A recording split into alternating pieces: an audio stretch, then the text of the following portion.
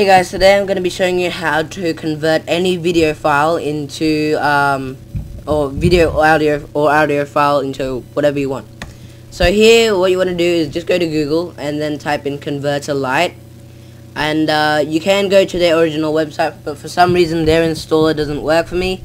I get an error saying that you need to reinstall the installer or something, and that still doesn't work. So I'm going to go to Soft, um, Softonics uh, website and here's the um, website if you want it up here.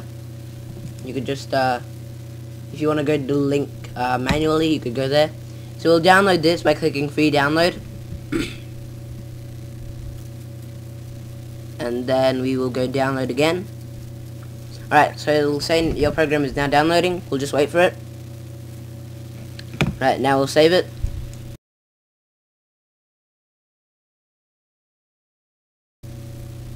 Alright, uh, try to locate your file uh, wherever you saved it. Uh, Google Chrome automatically has this down here, so just click on that. Click Run. Here's Softonics uh, installer. Again, I did, uh, uh, uh, by the way, here there's this user account control. You guys can't see it, um, but just click yes on that bar. I did actually try to download this earlier on, as you can see here, converter lite setup, and it does not work you can see there so we gotta go here so we'll go accept. We'll, we won't download this so just uh, we, you have to untick that. Alright next. Say no thanks. And then it should be downloading. Alright installation installation will start Alright, so here we have our Converter Lite installation um, box here. We'll just click accept. And we'll go decline, decline, decline, decline, decline. And that should be install installing. Um, yeah, while that's doing that, I'll show you what happens when I install using the uh, installer that came with it. So if we go down here, this is the, er uh, the error that I get. It says the installer was unable to access the server. Please try again later. That has happened for me for a very, very long time. And, um, yeah. So, we'll wait for it to install over here. So, we'll just go into the bar, which is somewhere. Alright, here it is. We'll wait for this to install and I'll come back. Alright guys, so the converter lite has finished downloading as you can see from softonic.com.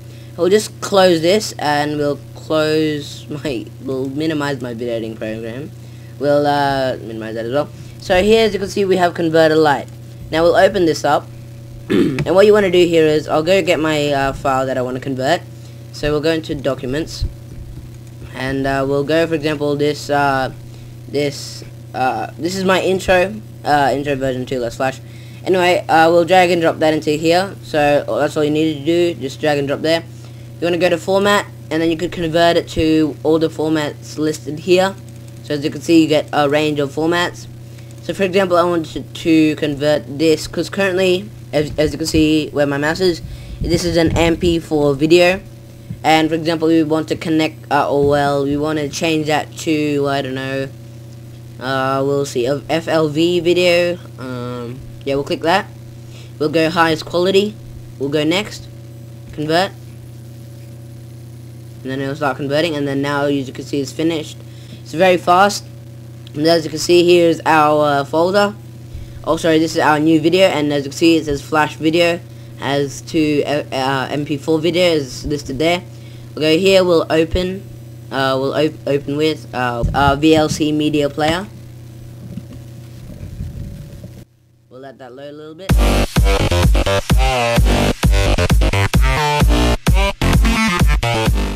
So as you can see that does work and I did play the video which was the flash video.